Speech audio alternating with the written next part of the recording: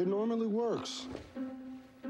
Dad, what were you thinking? Look, bleach takes out stains, and the curtains were dirty, so I'm sorry, but no. No. This whole retirement thing, he's still real new at it. look, this is the cleanest spot in the whole house, and I would have done a whole lot more if Frost hadn't taken my cleaning supplies for her collages.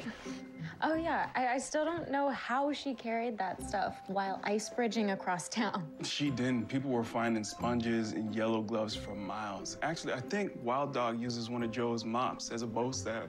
really? This feels good, remembering Frost like this.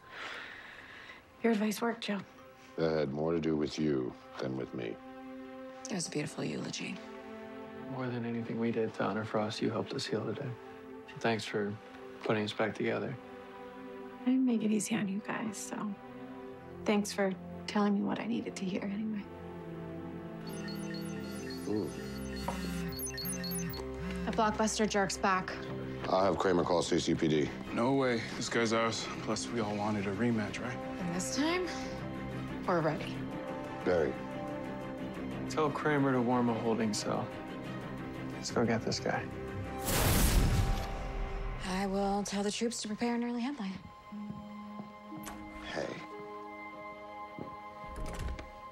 Do you somewhere to be too? Nope. Because I'd love to hear some more stories about Frost. I'd like that too. I'm gonna make us some coffee. Perfect.